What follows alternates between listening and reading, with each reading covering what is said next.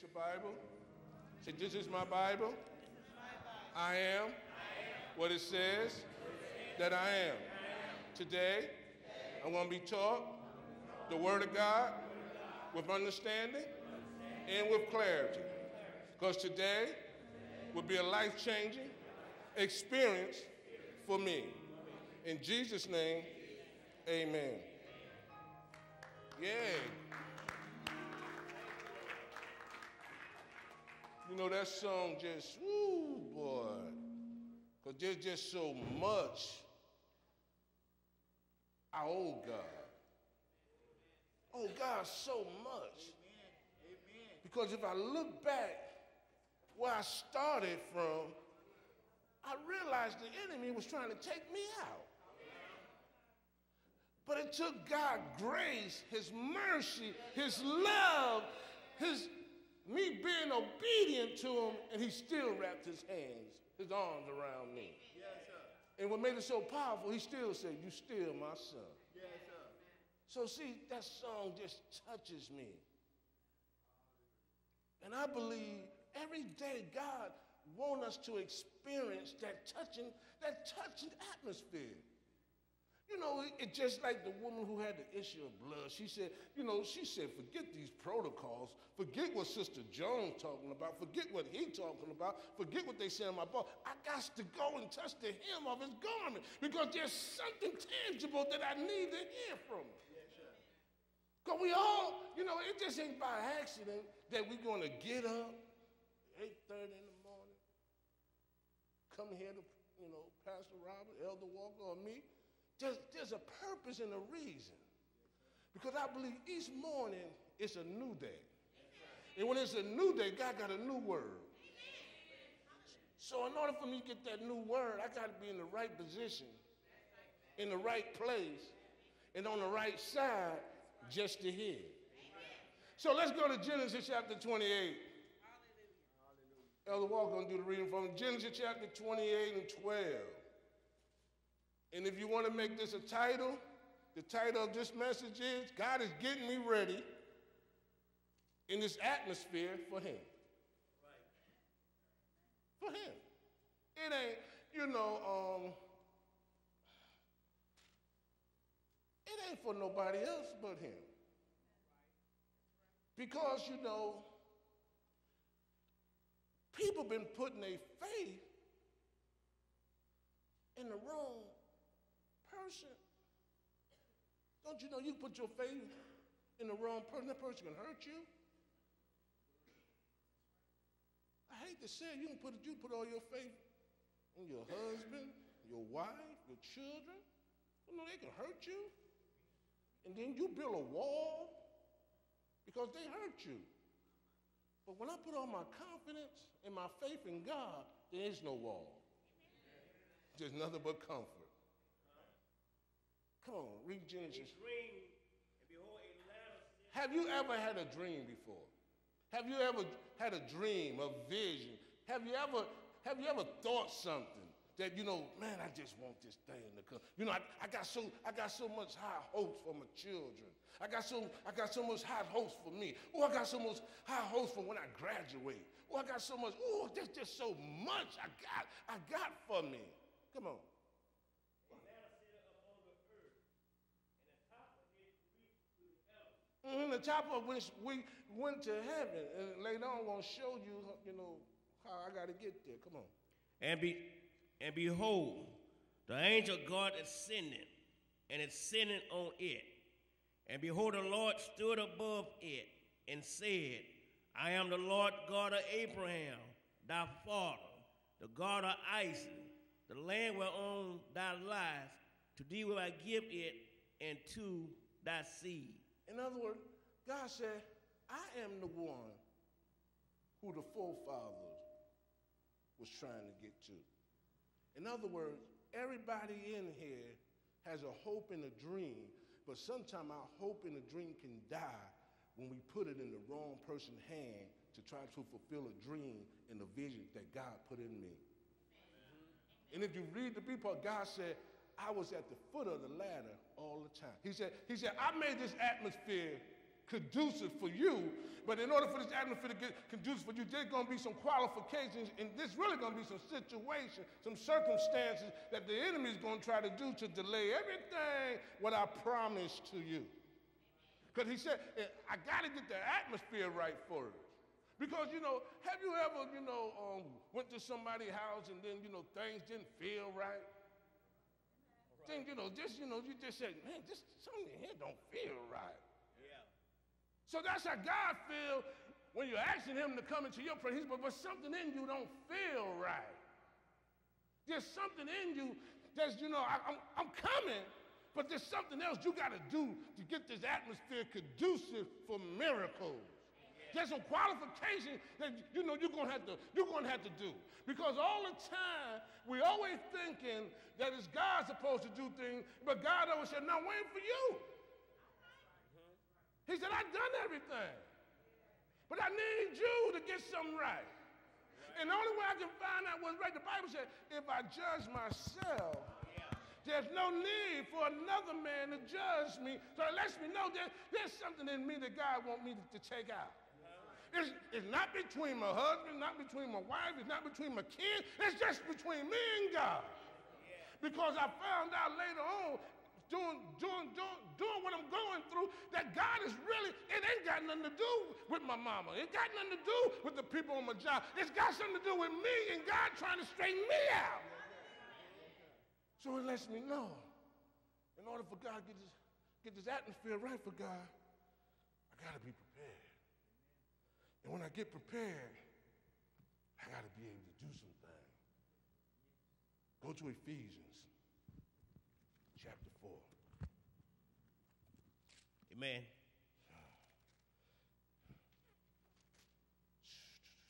In, in verse 9.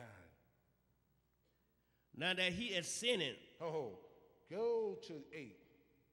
Wherefore he said, when he that sinned up on high. See, he said, he said, now I, I'm finna tell you something. You know what I mean? He said, I'm finna write. I just want to talk to you right quick. Because, you know, have you ever got in the presence of God? God has said, I just want, I just want to talk between me and you. And then, and then people say, who are you talking to? Come on, come on. When, he, when therefore when he ascended up on high, mm-hmm. he led captain captain uh-huh. and gave he gift unto men. He said, he said, that what had you, that what had you in chain, I got it off you. Uh-huh. Sometime when God tried to separate other people from us, and we thinking that it's some, it got something to do with me, we go right back and go get it. Child, I didn't mean to hurt your feelings, girl. You know, I'm a Christian, and you know, I would never try to hurt your feelings. And God said, all the time I'm trying to tell you, they, they wasn't really connected with you. Come on, watch. Now that he ascended, what is it? But that he also descended first into the lowest parts of the he earth. Said, I went to the, to the worst of the worst to separate these people from you. I went places that you didn't want to go. Told you I got some, I got some, I got, I got something, I got something for you. But you know, a good parent would never let his children walk into the wilderness without them first going through the wilderness first.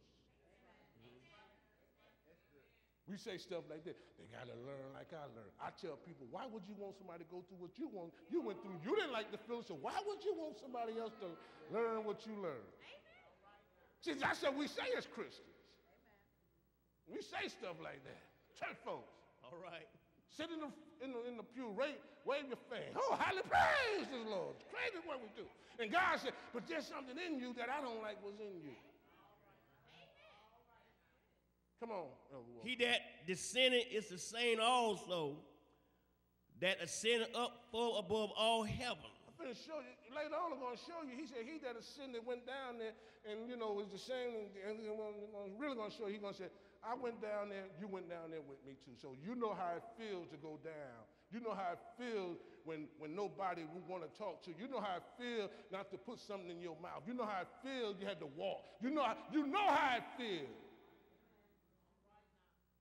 And then, they, then we, you know, remember he, he the, the disciple said, he said, he said, when I was hungry, you fed me now. Yeah. They said, Lord, when were you hungry? Oh, he said, it's when you didn't take care of the ones that went beneath you. Yeah. The ones that you rolled your, your nose up to. All right. The ones that you see know they, they may not be fit like you, and then you don't want to sit on the same road with them. The ones that get on their private phone and talk about, that's when you disrespected me. I'm trying to get this atmosphere because guess what? Some of us got children, you know, who, who waiting for mommy to act, you know, get straight. Some of us, you know, got doors that God want to open up, but there's, there's, there's too much, it's just too much in me. Mm-hmm. And I got the nerve to my Lord, open up this door. He said, Yeah, I'm open up that door right now for you. You're gonna take that same attitude that you got out there in here, and I'm trying to clean that attitude out. That's what I'm trying to prepare you for this. Mm-hmm. Some of us couldn't, he said, some, that's why they couldn't go in the promised land, because they weren't prepared for it. Yes. Your promised land is right in front of you in your dreams and your vision, but you ain't prepared to go through it. Hallelujah. Hallelujah. All because you claim to be a Christian does not mean you ain't. All right. I can have a Christian look, but I got to have a Christian way. I got to start denying myself. That makes me a Christian. When I can deny myself, forget about how you look at me. I got to see how God look at me. See, come on, man, y'all. They'll send up for all heaven. They may feel all things. See, hey Mike, he said, he said, he said, if I can get back home, I can fulfill all things. But he said, I can't even go home because my children ain't acting right. Well, Man, my bad, my bad, my bad. Let me go over here. Hey, bro, he said he cannot go home until y'all get right.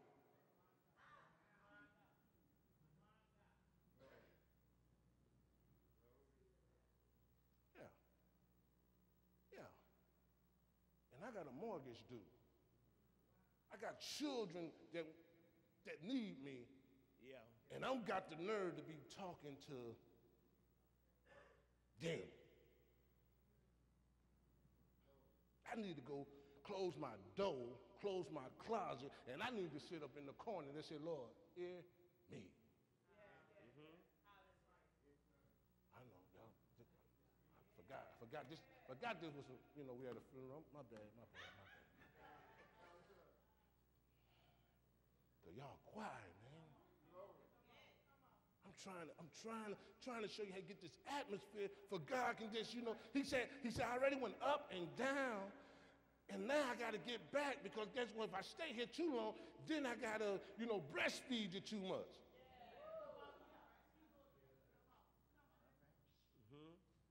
How, how do you look being 45? Come on. Up. Remember, he said, I can't, you know, you, you should be through with this milk now. I should be giving you some solid food. But we still want that milk. Right. Just something about that milk. 1%, 2%, don't make a difference. Just give me that milk. Well, I ain't ready to fight. And when a person ain't ready to fight, he wants you to bust his food up too. The devil know he busy. No, that's just you ain't ready to fight. It's just like it's just like you, you put your keys in your house and another family in it, and you just want. When you tell your cousin them they can come over here. I don't know them. What you gonna do? I Guess I get on the sofa. That's how the enemy do, y'all. That's what you're trying to get. He telling you it's mine. And then when he, you know, and when y'all don't want to fight, he said, I guess you better get in the trunk. Camera drive your own car. my God. Come on, man. And he gave some apostle. Oh no, that's it, that's it. Cause I don't want y'all to talk about. We want to talk about the four, fivefold ministry. Cause I, how, how would I know I'm part of the fivefold ministry when I can't fight? No, and I'm just like some, you know, I'm like just like some of the young people. I, I don't keep it real. So I got to deny myself. Yes. Boy, y'all got it hot up in here. All right. Point number one, I got to constantly be, I got to constantly be in preparation. Ooh, constantly got to be in preparation. Because I don't know who the enemy going to bring in the next three minutes. Right. Don't you know old sister, old sister Jones, the, the sweetest lady on, on your block? If she don't know that the enemy finna use her right quick, she will cause headache and chaos and cause you to. I can't believe she did that to me. When, when you fight, you, you, you, sometimes you can't, you know, keep your guard down. That's why if you're in the boxing ring, you know, in a, in a, in a, in a bell ring, and, you know, the referee come right quick, because those boxers still want to get it on. Tell me something, I got to just keep on boxing with the enemy. Even though the bell rung, I already knocked it out, I got to keep on, on getting prepared for the next one that goes. Because I know somebody's coming a lot stronger and a lot faster than him. Because if I beat him with just that one punch, I know he's going to send somebody else. You know, all because you defeated one of them. You defeated the time clock situation because you know you had somebody, oh, watching the time. Oh, he two minutes late. See how much she gonna put? You know what I mean? She ain't coming no 8 o'clock, And she came eight on one. I may defeat that one. Now I gotta sit the ones that come around my desk worrying about what I'm doing. Oh, my bad, my bad, my bad. My bad, because you see, y'all don't know. Go to Matthew. Chapter 16. Amen. in verse 19. And I will give to thee the keys of the kingdom of heaven. He's saying, now I'm going to give you some keys, some keys, some special keys, some special keys. The only person that got a set of these keys is going to be you. Yep. Because, you know, these keys he's really talking about. Come on, Elder Walker. And whatsoever thou shalt bind on earth shall be bound in heaven. In other words, he said, these keys I'm going to give you, they're going to be the keys of the law. They're going to be the keys of principle, you know, of principles. They're going to be the keys of a system, and they're going to be the keys of concept. And said, he said, these four keys you're going to need to fight this battle when I'm going to get ready to put you in. Because it's just very strange. The Bible said after Jesus got baptized, Yeah.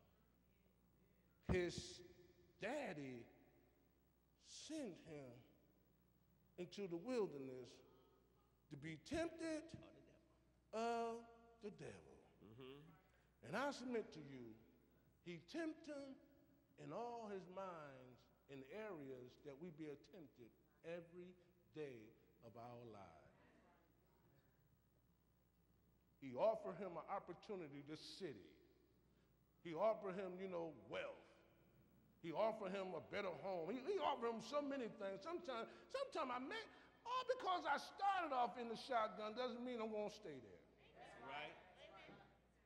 And that's what we prepared for because I'm here, you know, guess I just settled down right here and just stay right here for a long time. How you doing, my new neighbor? You know, I really, I really shouldn't be on this street. But I settled for it.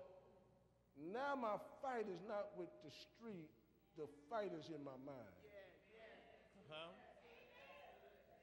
Because I settled it that I may have to stay here.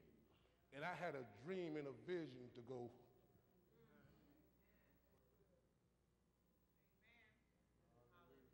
Go to John. Chapter 1. And verse 48. John 1 and 48. Nathan said unto him, When knowest thou me? Jesus answered and said unto him, Before that Philip called thee, when thou was under the fig tree, I saw thee. She said, he said, no matter, he said, I, he said, have you ever noticed that Jesus picked his own company? And one of his company who he picked was a betrayed, betrayed him. But I submit to you, Judas really wasn't that bad. He just got used. So if you ain't got a click and you got somebody that's trying to use you, be careful that you may be the Judas. Because what's your motive? Come on, man. I'm finna leave that alone too. Nathan answered and said unto him, Rabbi, thou art the Son of God, mm-hmm. thou art the King, the King of Israel. Mm-hmm. Jesus answered and said unto him, Because I said to thee, I saw thee under the fig tree, believe it thou, thou shalt see greater things. He things. said, he said, oh, all Then because these. I put you in that trailer, if you believe you're gonna stay in that trailer, that's where you're gonna be. But believe that this trailer was only just a temporary s- spot for you.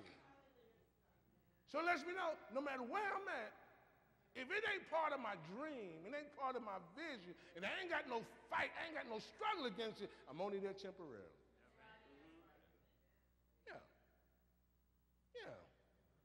You know, I'm finna tell you my life story. You know, sometimes you can be dating this girl and you got all high hopes for a date. You know what I mean? You think, Man, yeah, yeah, that's the one. That's the one.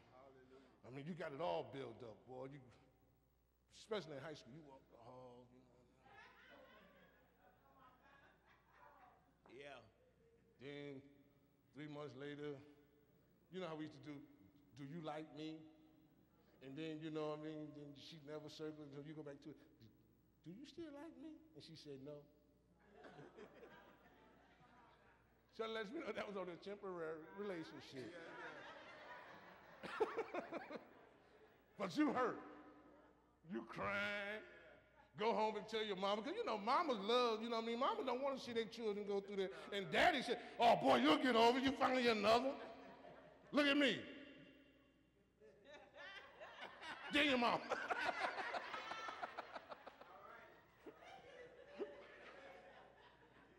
oh, my bad. Wrong, wrong sermon. It. All right. I want, to, I want you to write down something. Can I use you for a second? You're looking dead at me. Can I use you for a quick second? All right, here we go. Write it down. We're going, we're going to go to Habakkuk chapter 2. And we're going to go to verse 1 through 3. And as you go in there, I want you to, I want you, I want you to picture this. Sight is a function of the eyes, while vision is a function of the heart. Just watch it. You ready? You gotta stand up. You to play basketball? Not really? You know how to shoot? Sure. Stay there. I want you to. I'm going to show you an illustration of sight and a heart with faith. Come on. I want you to shoot a free throw.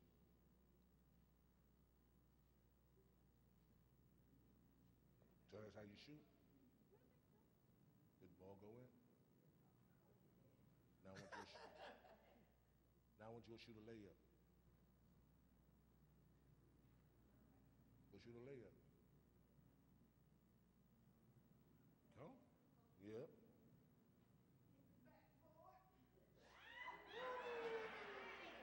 Finna show you something.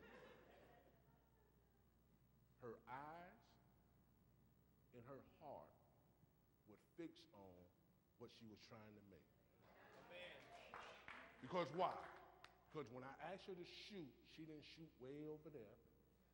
She didn't shoot way over there. When I asked her to make a layup, all because the jump shot may have seemed too far for her, she took, she took just how far her faith would take her to and made the layup.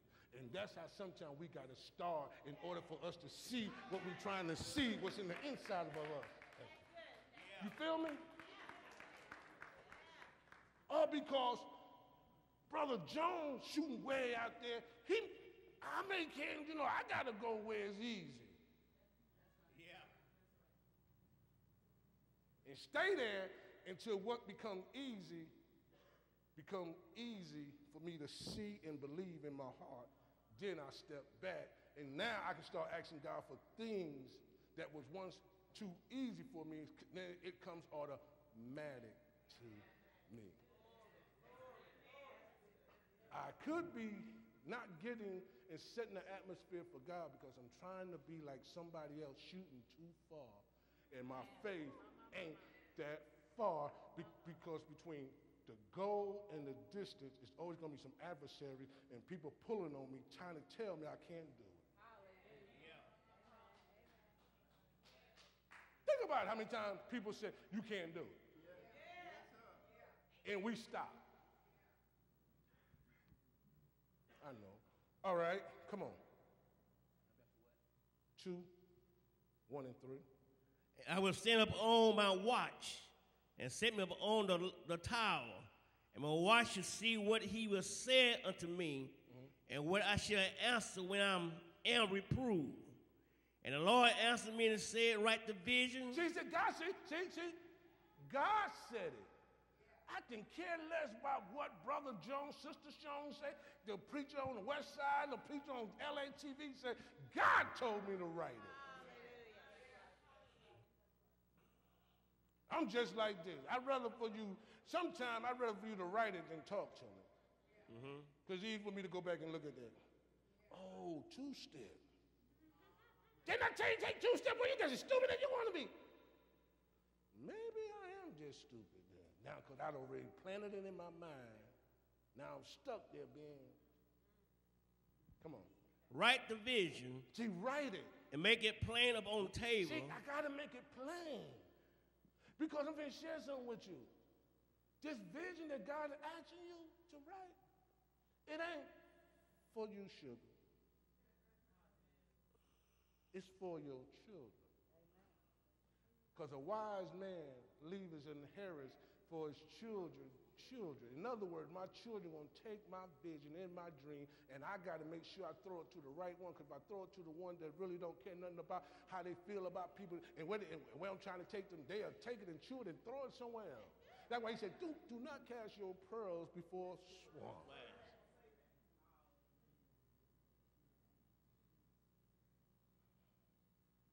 Oh, Lord. Lamentation. Man, this thing getting good up here. Lamentation 3 and 5.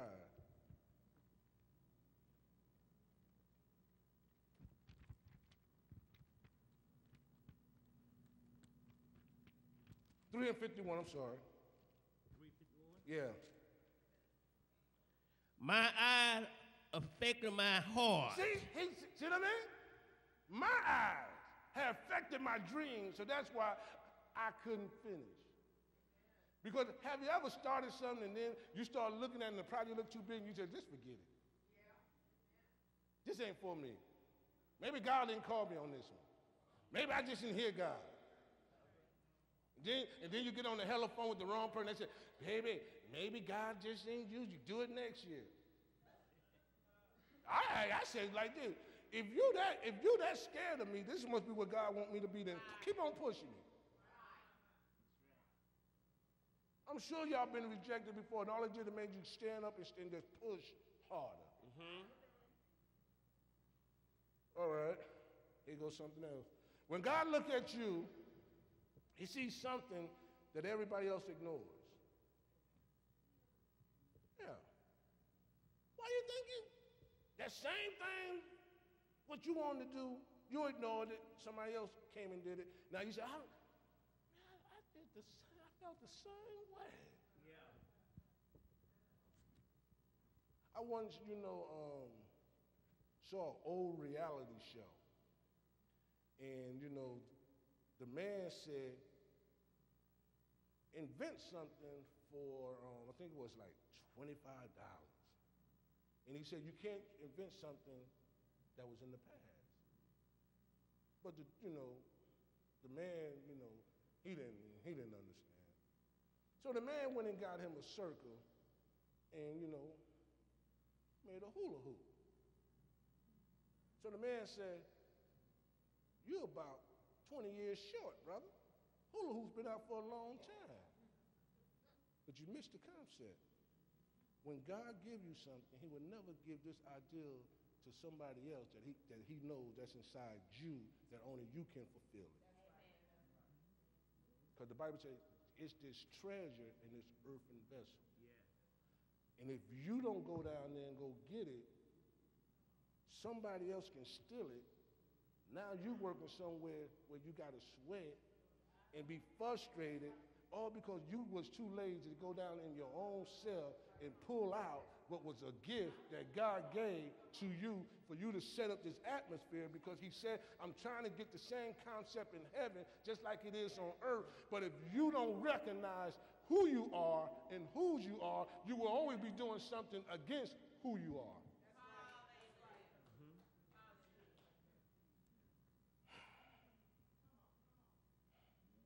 Go to 1 Samuel 18. 5 through 11.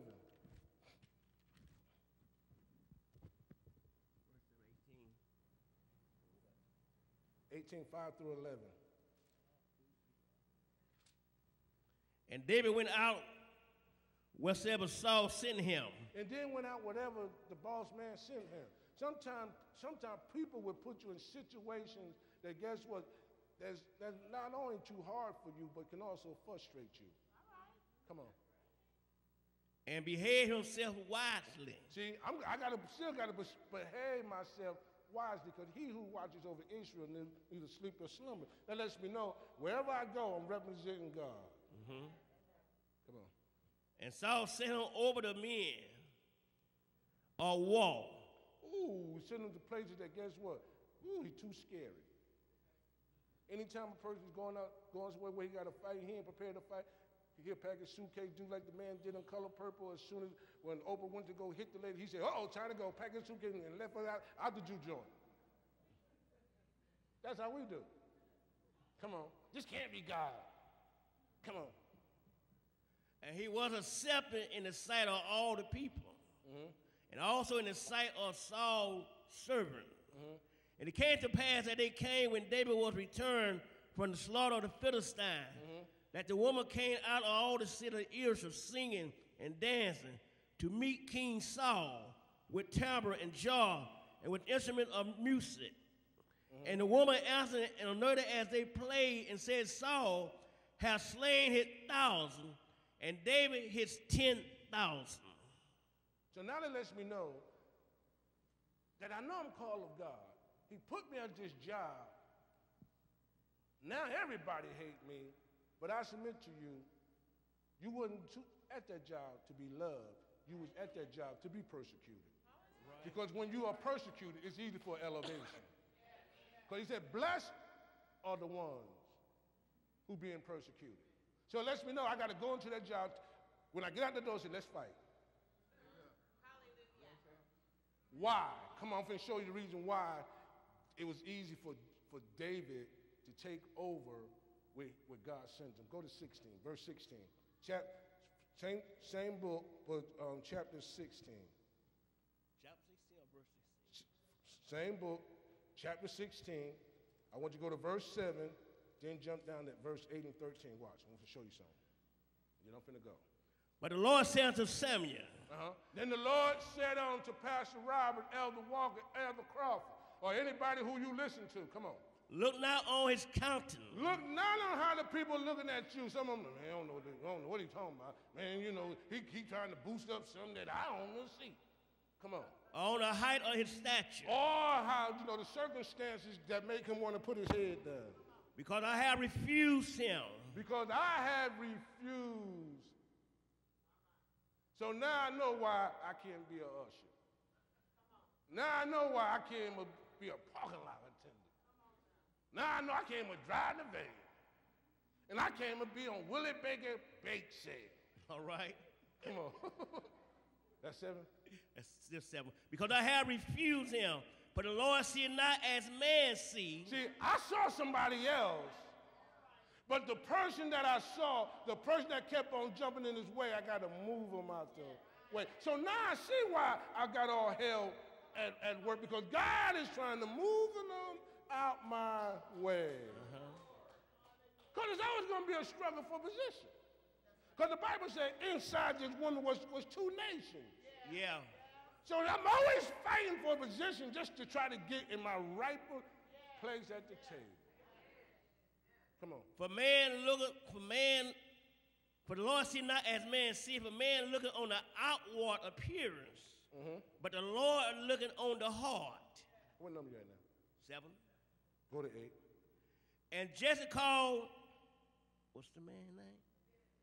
Abinadab.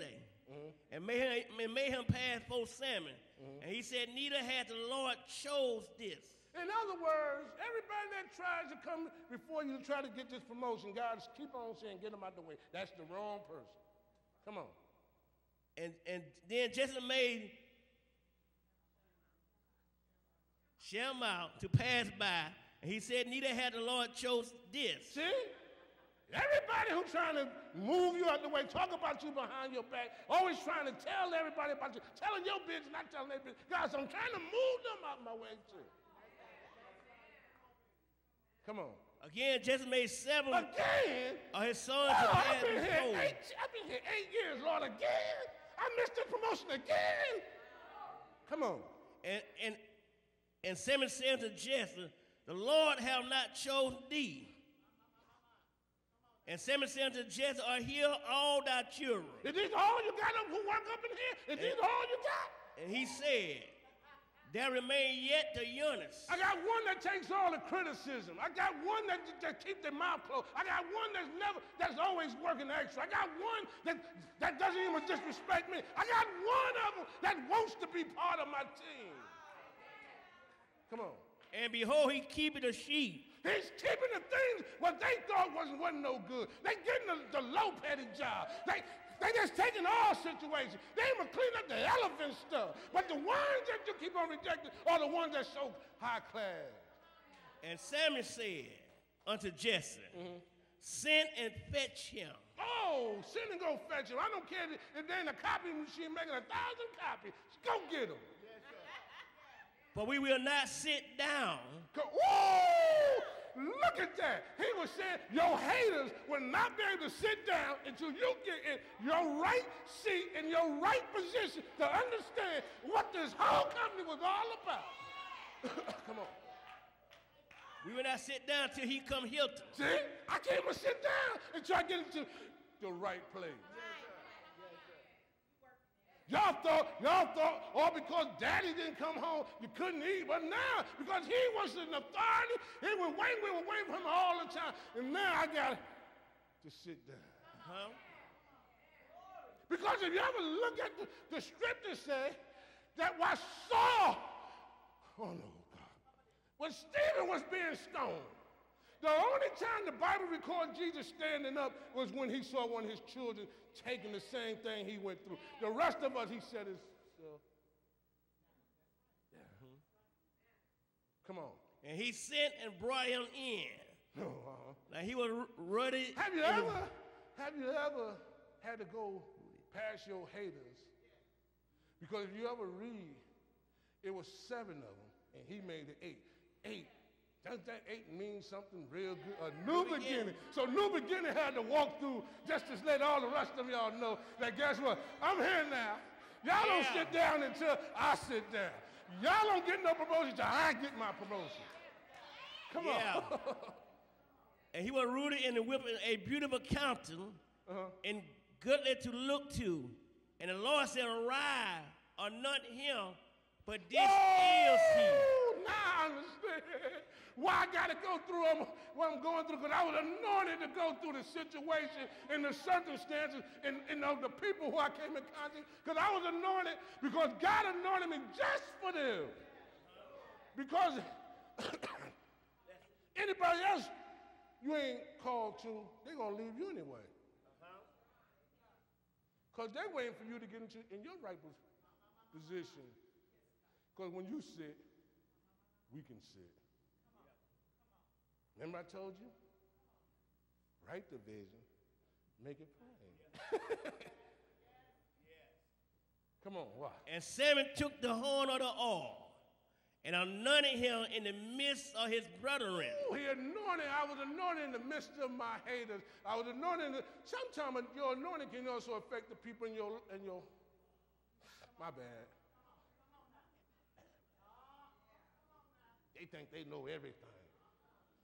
I do, baby. I'm anointed. if I don't know everything, why you keep on calling me? All right? You know I don't talk like Sister So and so and Day Day Ray Ray and them. You keep on calling me, asking me to pray behind closed doors. All right? When we have our family reunion, you don't follow them, you following me.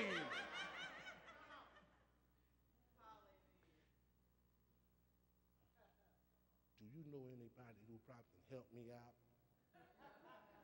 Remember the time you called me, you needed a favor, you asked me, do I know anybody got favor on them? Didn't you use them? Oh, my bad. Let me go back up here. Come on. And anointed him in the midst of his brethren. Mm-hmm. And the Spirit of the Lord came on David from now that day. I know why I'm going to be celebrated in the places where I'm supposed to be hurt because I'm anointed to go into places where it's supposed to affect me. Not to hurt me, but to pull out the God in me. Mm-hmm. Father, in the name of Jesus, I thank you, Lord, for what was shared tonight. Father God, what was shared this morning. Father God, I thank you, Lord, that your word did fall on good ground. So, God, I thank you, Father. You are preparing us for atmosphere, Lord, not, not for ourselves, but for you. So, God, we thank you right now for the words that went forth. In Jesus' name I pray. Amen.